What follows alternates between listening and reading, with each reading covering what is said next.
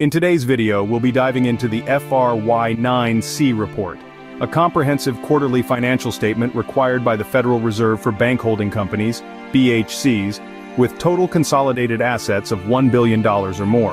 The FR Y-9C report is divided into several key schedules, each providing detailed insights into different aspects of a company's financial condition and performance. These schedules include the balance sheet, which lists the company's assets, liabilities, and equity, the income statement, detailing revenues, expenses, and net income, and the Schedule HCR, which focuses on regulatory capital components and ratios. Additionally, the FR Y-9C includes data on loan performance, off-balance sheet activities, and information on trading assets and liabilities, which are crucial for understanding the company's risk exposure.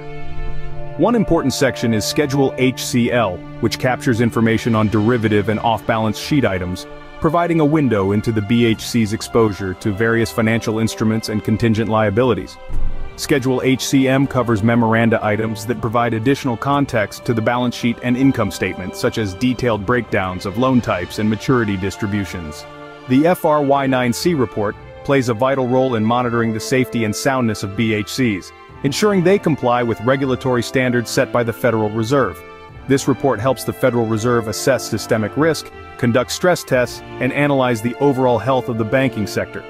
By examining the FR Y-9C, regulators and analysts can identify potential vulnerabilities within the banking system and take proactive measures to safeguard the financial system.